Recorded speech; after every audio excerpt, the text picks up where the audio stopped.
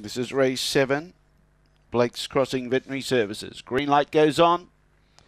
Thank you, Dean. Set to go away. Fullbogan missed it, uh, trying to push through but can't. Cool Connor showed good dash. Austin Powers moves into second place. He On the inside was Chobani. Uh, there's bumping there with Son of Diablo. Around the outside, Fullbogan's trying to recover after that poor beginning. Well back behind those. Play Your Ace. All's well and Anywho. In the meantime, out in front, still by length at this stage, is Cool Connor. Austin Powers is trying to pick it up. Then behind those, Chobani and Fullbogan. Fullbogan goes down to the inside. Austin Powers hits the lead. Fullbogan Bogan comes out of it, Austin Powers beats Bogan. Third, Cool Connor. Fourth was Play Your Ace, making ground late. Then behind those, Chobani, Son of Diablo.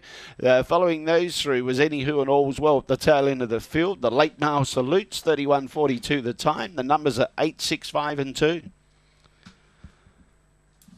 8652, the judges' numbers. 31.42 was the time. And Nick, the winning margin. Run home was 15.31, 15.31, 8, 6, 5 and 2, 31.42 the time.